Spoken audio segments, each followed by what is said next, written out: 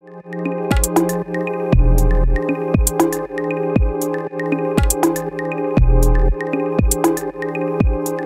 full disclosure from last week, I picked up three games on Bobby, had a good week, but for the season he's still up two, so we're, it'll be a race to finish. Yeah, it will. Uh, we will definitely see how that uh, pans out at the end of the year. So another good game, Seahawks Eagles. This is a big one. Eagles, you saw obviously did not play very well against you guys. No. They're five and five. Seahawks eight and two. Eagles the one and a half point favorite here. Public going heavy on Seattle. Over under forty eight points. And how do you see this one playing out? What do you think? I think what I saw on Sunday was the when the Eagles go up against a good defense and you pressure um, Carson Wentz up the middle, and also this is a problem if his offensive tackles Lane Johnson and uh, Jason Peters are going to be able to go. I know that Lane Johnson's in concussion protocol, so he's going to be up in the air. We got to see how the rest of the week at practice pans out. But Jason Peters left late in the game with a knee injury, so we got to watch out for that. He's old too, so that's Yeah. not good.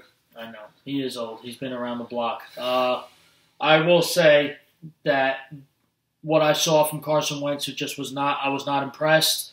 That he he should be playing so much better, but the offensive line wasn't blocking for him.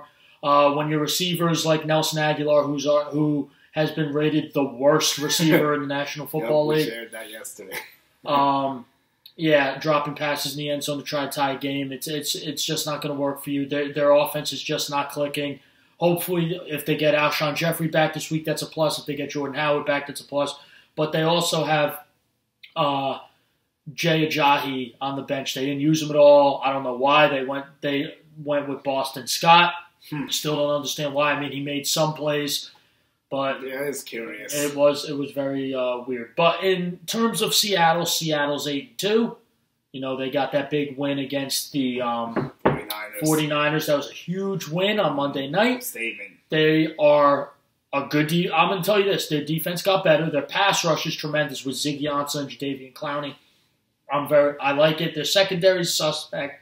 Not really. say. Not really much. I don't like it that much. It's not the Legion of Boom what we've seen.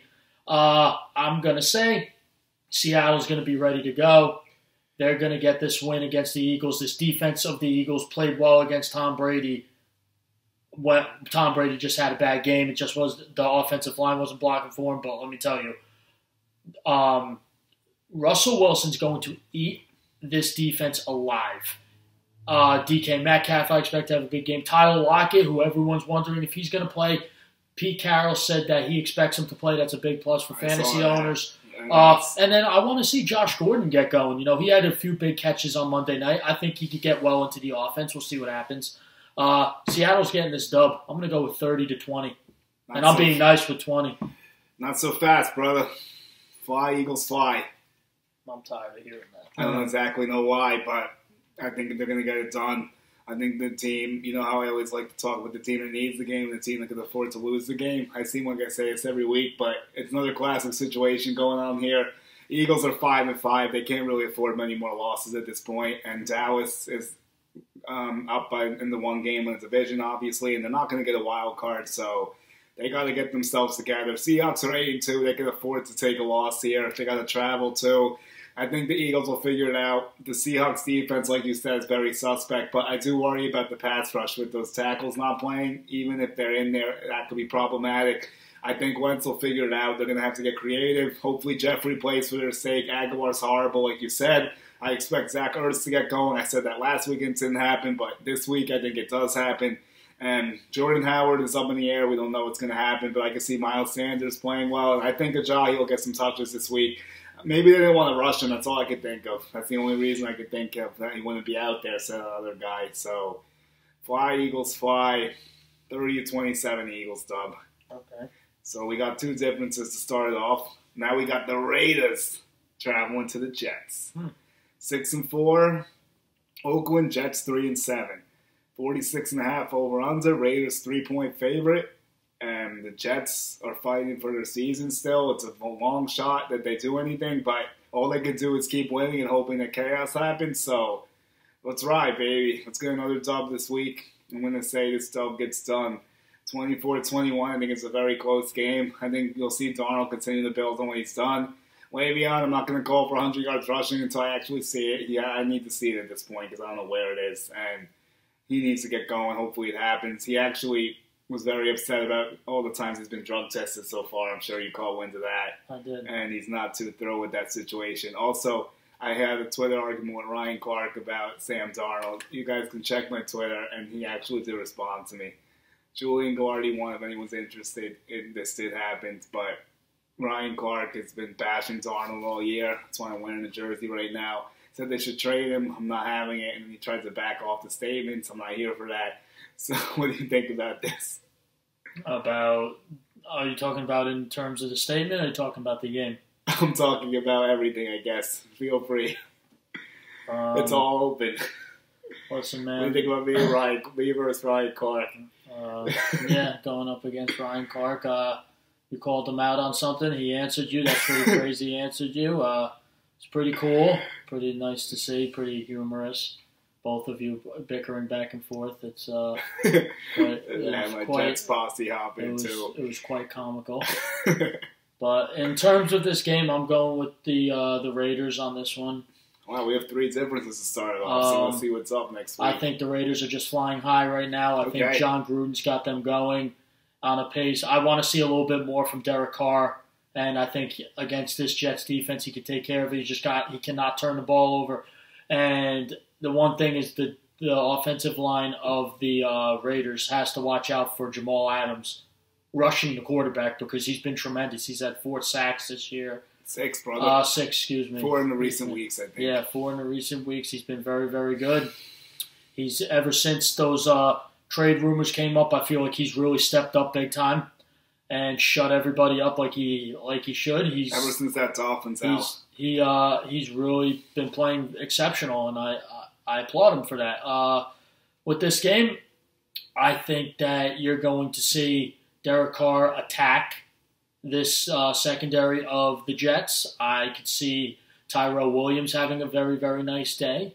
Uh, Hunter Renfrow, I think, is a sleeper to really Yeah. do well in that slot, but he's going to be covered by Brian Poole. Brian Poole's the guy who uh, he's the nickel corner. One of so our few good corners so. we have. So well, with this game, I'm going to go with 27 to 21 uh, Raiders. I think that their defense at the end of the game is going to make a statement on Sam Darnold, but Sam Darnold will have a nice game. I'll say that. here's the thing I'll say: the Jets this game bodes well for us because they really rely on Josh Jacobs to set the tone running the football.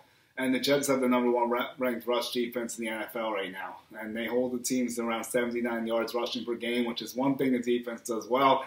I am concerned about the passing game, and I actually think that the biggest X factor is Darren Waller because we really struggle covering tight ends. How many times you see a tight end catch a classic post pattern for like 20 yards against the Jets defense? I think I've seen it about 100 times, if not more. It's ridiculous, and he's Yeah. very good. And I'm I'm worried about our coverage on Darren Waller. I really maybe Marcus Maye will try to match up on Jamal Adams a little bit, but. You know, Adams has been playing that hybrid blitzing role lately, so I don't know how much of that they're going to have going on. Williams has been doing a great job getting pressure the last two weeks. We're going to have to see if he keeps that up because you know as well as I do, once you get in Carr's grill, he doesn't respond very well. No, no, it does not. So if the Jets can set the tone, continue to get some pressure with that D line, Phillips and Fusaki have been outstanding sleepers for this team, and I'm excited to see what happens. See if we can keep it rolling. But it's going to be a tough challenge, and I think it will also be helped by the fact, you know, my good old fashioned one o'clock West Coast team traveling east. I think it'll help us here. yeah, we'll see what happens, man. We'll I see what think happens. it's going to be a very interesting game. So next up, we'll go to the other New York team, Giants and Bears. Oh, this is going to be an ugly one. Yeah, it's it's uh, yeah. I'm not really fond of this game. Uh, Got to see if Mitch Trubisky plays. He has that injured hip, but we saw this last year when the Giants played the uh, Bears. Trubisky didn't play, and Chase Daniels played the Giants. Ended up getting the W. Um, and I'm going to tell you this. I'm going to go. I'm going to go with the Bears on this one, and I hope they're not going to make me crow on this, but. Uh, that defense of the Bears, I've been so disappointed with them this year. They they should be so good, and they're not. Khalil Mack's not having a good year. I think this is the game where he really gets going. Yeah, I can see it. Whoever plays quarterback, I think they'll they'll do enough to get it done. Uh, they, I mean, if you can't get it done against this Giants defense, there's something wrong with you. um, with that being said, I expect Allen Robinson to have a very very nice day. I expect David Montgomery to keep it going, uh, and you know. Uh, I think Tarik Cohen's get, is really starting to get more and more involved in the offense as he should. So uh, I'm going to go with Bears winning 23 to 14.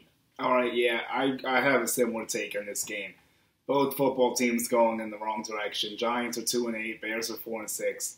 I think I may have said this, but they are a six point favorite. The over under is 40. I would go under. I think this will be low scoring. Bears, I could see 20. Giants 17. I think the Giants will keep it close because the Bears, I don't think are that good, honestly. Hmm. And the quarterback play has been garbage, even if it's Mitch or Daniels. I don't know how much of a difference it makes at this point, whichever one it is, honestly. That's how bad Mitch has been. And I think the Giants will stay tough. I think they'll get some points, but they're going to have a hard time scoring a lot. I just think the Bears are home. They they're still in the hunt, sort of, not really, but kind of. Giants season's completely over, so I think the Bears will get it done. Yeah, I agree. Then we got Falcons and Bucks, both three and seven football teams. Falcons flying high, four. Well, I say flying high. They went back to back games with three and seven. Four and a half point favorite, fifty-one point five over under. I would take the over, take the Falcons. Falcons dub this 34 21, I think. I think they're going to keep rolling. They've been beaten up in the division. Bucks are looking hapless again. You know, Jameis Winston's a train wreck. OJ Howard is complete garbage. So the Falcons' offense and defense have been in click. They've been in sync. And I think they're going to continue to get pressure on the quarterback. I think Winston's going to make a lot of mistakes. I can see a pick six potentially, because why not? Julio, could he get over 100 yards? I'm still waiting for that. I think this could be it. And then Freeman, I don't know what his status is. It doesn't look like he's going to play from what I've heard, I think. Do you know anything? I haven't heard I saw he was out. It. Like, I was checking the roster, it says, just says out. So I don't know what's going to happen with that. And then I think Calvin Ridley had a monster day. I didn't expect to see more of that. Yeah. Uh, I'm. You're not going to get an argument out of me out of this one for the Falcons. I think they win this game. Their defense looks absolutely phenomenal last week. I expect them to do that again this week against Jameis Winston. They're going to light him up. He's going to be under pressure a lot. Ever since they made some coaching changes on the defense, I feel like they've gotten a lot better. You see him, Vic Beasley, get back to his form. Uh, I will say this: I think that Julio Jones is going to eat. That secondary of the uh, Buccaneers is absolutely horrendous. Um,